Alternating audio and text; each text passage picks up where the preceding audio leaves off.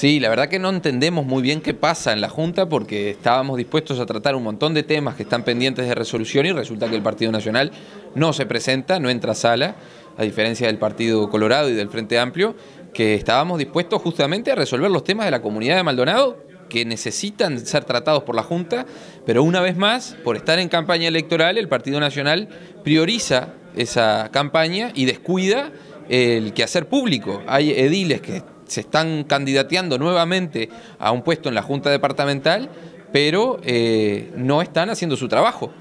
Nosotros estamos acá al firmes, como siempre, eh, en pos de, bueno, de trabajar por el departamento.